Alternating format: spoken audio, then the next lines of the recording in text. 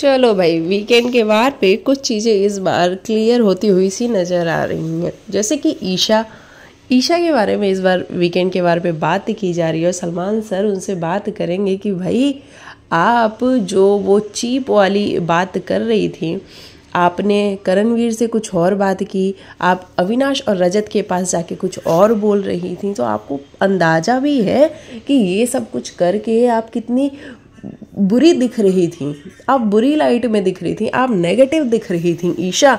और ईशा ये सारी चीज़ें सुन के बिल्कुल शॉक में आ, हो जाएँगी क्योंकि वाकई में उनको अंदाज़ा नहीं है कि वो आ, जब करण से बात कर रही थी चीप वाली लाइन पे वहाँ करण ने कहा कि मैं पास आऊँगा तो वो तुम्हारे लिए चीप हो जाएगा। और ईशा ने जाके रजत और अविनाश को जो बोला कि करण ऐसा बोल रहा है कि मैं आऊँगा और वहाँ पे मैं चीप हरकतें करूँगा। ऐसा अविनाश को ईशा ने बोला, जहाँ पे अविनाश और रजत का एक अलग तरीके का गुस्सा भी हमने देखा कि अरे, वो आ तो जाए नंगा कर दूँगा उसको। अविनाश ने जिस तरीके से बोला, वो भी देखा हमने। तो ईशा इस बार एक्सपोज होती हुई नज़र आ रही हैं और ईशा के एक्सपोज़र का मतलब है कि बहुत सारे लोग इंतज़ार में थे कि भाई ये लड़की कंटिन्यू बिचिंग करती रहती है।